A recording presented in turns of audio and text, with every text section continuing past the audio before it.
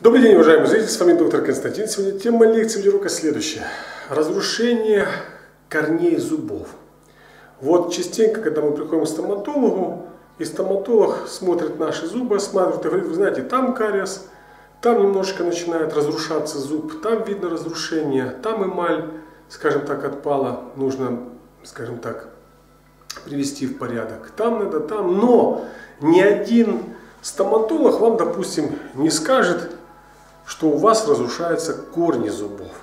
Вот, вот это болезненная очень тема. Ну, вообще, зубы это очень болезненная тема для, всей, для всего человечества.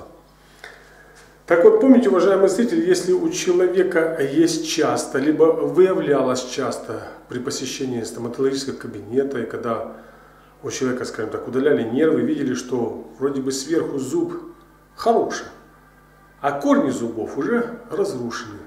Так вот, при частых разрушениях корней зубов, здесь подчеркиваю мы всех зубов, которые находятся в ротовой полости у человека, либо которые расположены на деснах, необходимо прибегать к акупунктурным точкам. И точка ВЦ-12 Джунвань является, э, можно сказать, единственной точкой в акупунктуре, которая помогает, скажем так, либо приводит в порядок корни зубов, либо человек, скажем так, обратил внимание, что у него чаще, скажем так, зуб сверху хороший, а снизу гнилой.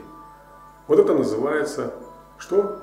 Работа органа желудка. Вот так вот желудок себя проявляет на наших с вами, скажем так, зубах. Чтобы не допускать этого стимуляции данной точкой, стимулированием, еще здесь повторить, повторилось, хотелось, повторить хотелось вам всем и сказать, что не сильной стимуляции данной точки ВЦ-12 Джунвань мы можем что? Бороться с таким заболеванием, как разрушение корней зубов. Помните, что для профилактики нам необходимо воздействовать на точку, а не повоздействовать там 2-3 раза в году, как некоторые люди там, и бросить. Нет, с этой точкой нужно работать регулярно, не злоупотребляя и давать столько энергии, чтобы она и не воспалила желудок, и не расслабила, и, скажем так, что практически вы ее содержали в тонусе. Спасибо за внимание.